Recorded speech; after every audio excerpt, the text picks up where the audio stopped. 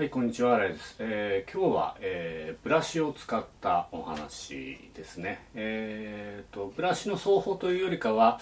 えーブラシで、あの、こういうトレーニングをすると、ちょっとリズムの感じ方が変わるんじゃないかなという、まあ、どちらかというとリズムの話ですね。えブラシというのは、あの、まあ、スティックのようにこう、叩いたり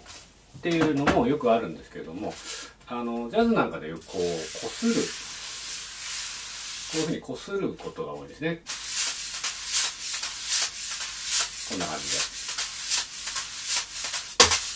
たまにこう叩いて。えーえーそのこうこするっていうのがですね、えー、となかなかほらスティックだと感じにくいそのタイム感覚ですよね。あのーまあハイハットをオープンしてチッっていう音を長い音が出たのをこう左足で閉じたりっていうのをがありますよね。でそうやってこう長さを感じたりとかっていうのが、まあ、ハイハットなんかだとあると思うんですけど大抵の場合はこう叩いた感じ。でこうリズムを取るっていうのが、まあ、ドラマーのよくあるあのリズムの感じ方だと思うんですけれども、えーブラシをこうこするということをやると、えーよりそのリズムのこう流れというか音の長さというかですねそういうのを感じる訓練になるんじゃないかなと思って、まあ、ぜひこうブラシ、あの手に取って、えー練習取り入れてみたらどうかなと思います。えー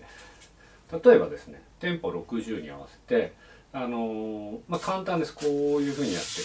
う丸く、えー一拍ごとにこう丸く円を描くようにこすってみるんですね左手も。で、えーぶつからないようにこう僕は左手こう下の方。で、えー右手はこう上の方こう交差するよう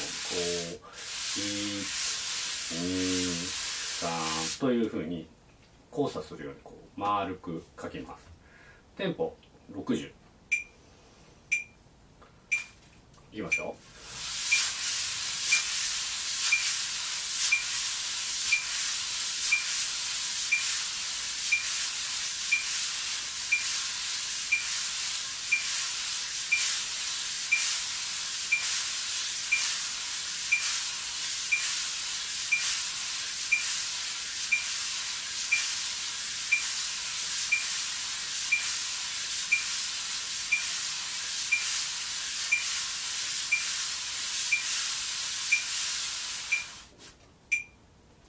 はいちょっと音ちっちゃかったかなえー、っとこれ、えーピッて音はピッっていう風になるけども、えー自分の方はこうやってこすりながらそのピッっていう音をこういう風に通り過ぎていってますよね。あのこう点でこうやって狙うわけじゃなくてこう鳴る前から鳴った後にかけてこういう風にこすっていくわけですね。こういう訓練をするとあのピッっていう音自体が何か長さを持ったように感じることができるような気がしませんかね。あのー僕はこうそういうふうに感じるんですよね。点を狙うんじゃなくて、えー前からその音が鳴った後の方まで、えー長さのあるようなメトロノームの音っていうふうに徐々になっていく。でそれから、えーメトロノームが鳴ってから次もう一回鳴るまでの間をスッというふうにこう刻むのではなくて音のこうつながりで感じるっていうそれがやっぱり ブラシの、あのー練習の面白いところなんじゃないかなと思います。えーもう一回やってみましょう。えー、と今度は、えーこう倍の速さです。やってみましょうか。2 3 4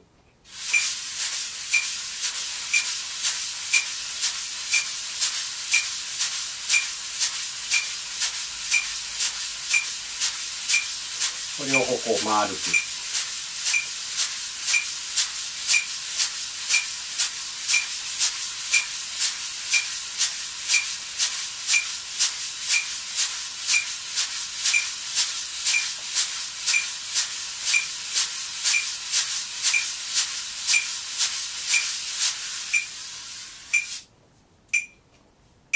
はい。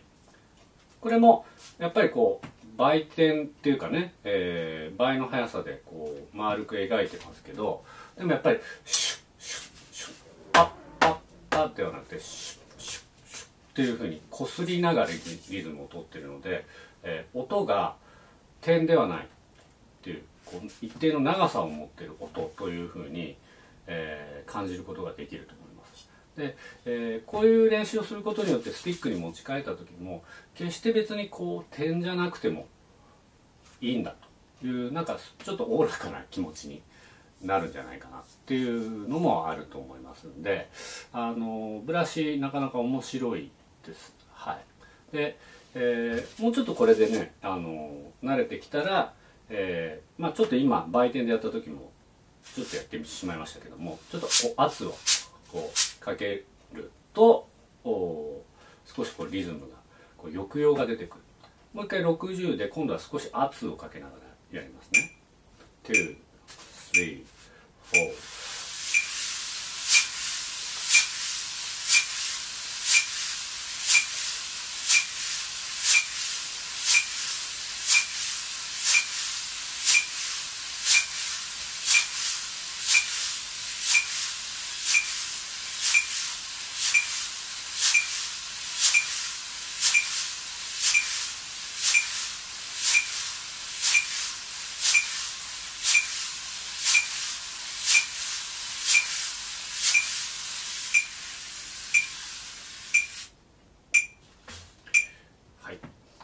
んな感じでこうシュッ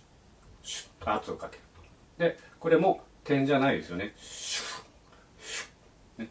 どっからともなくシューッときてまたこう去っていくようななんかこう波がこう行ったり来たりするようななんか感じがしませんかね、えー、シンバルがこうこれが例えばシンバルだったとしてシンバルがグワングワングワングワンとこう揺れてうーんうんあっていう抑揚が聞こえるというような感じにも近いですね。ジャズの人なんかはそのレガートを打つ時にまあみんながみんなそうじゃないかもしれないんで あの僕の場合ですね。あのチンチキチンチキこうやる時はこのチンチキチンチキって点ではなくてチェーゲチンデゲデゲっていうふうに揺れるようなこの波動というかですねこの波が行ったり来たり行ったり来たりっていうのをあの感じ取らす感じ取ってもらうっていうかね、えー、そういうあのイメージで演奏をします。はい、でそれっていうのはやっぱりこう、えー、ブラシをやるとね、えー、イメージしやすいっていうのがあるのであのぜひこうブラシを手に取って、えやってみてください。はい、今日はここまでです。